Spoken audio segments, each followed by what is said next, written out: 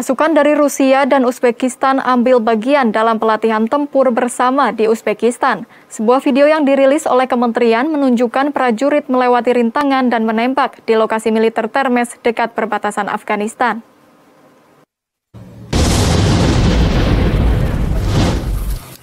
Latihan bersama diadakan di tengah kekhawatiran di kedua negara bahwa situasi keamanan yang memburuk di Afghanistan dapat meluas ke Asia Tengah.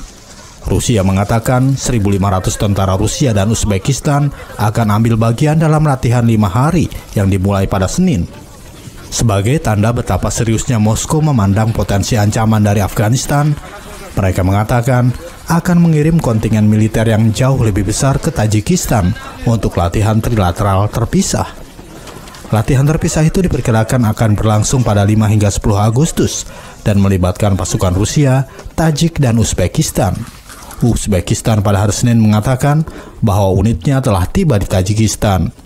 Kementerian Pertahanan Tajikistan mengatakan bahwa latihan itu akan melibatkan lebih dari 300 kendaraan lapis baja, 25 helikopter tempur dan transportasi, serta sejumlah jet tempur dan pembom serta artileri yang dirahasiakan. Keamanan telah memburuk dengan cepat di Afghanistan ketika Amerika Serikat menarik pasukannya. Moskow khawatir Hal itu dapat menggoyahkan sayap pertahanan selatannya dan mendorong pengungsi ke halaman belakang Asia Tengahnya. Dari Termes, Uzbekistan, kontributor Nusantara TV melaporkan.